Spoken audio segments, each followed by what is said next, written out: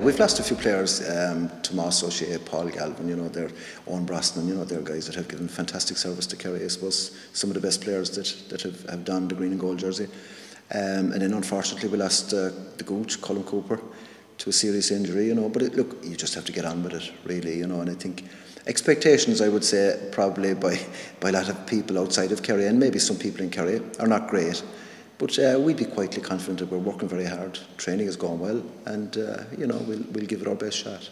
I suppose last year um, my eyes were opened really. You know the difference in, in, in, in, the training methods. Number one, you know, the strength and conditioning of the players. You know, and it's like we train very hard in our time, but I mean now it's gone to a different level. These guys are they're very similar really to uh, professional athletes. You know, and they really have to look after the body 365 days a year. We didn't, you know, we were able to winter well and and uh, take a bit of a break. But these guys, and you know, they're they're ferociously dedicated, as are all other counties, I'm sure. You know, but I must say, I'm really enjoying it. The route we uh, we, we hope to go is to is to, is, to, to come through Munster and, and and win a Munster championship and and and, and, and see where it takes us on to a quarter final. You know, but um, as I said, your preparations are going well and uh, we're working hard and as I said we're quietly confident that we'll be there thereabouts at the come the end of the season.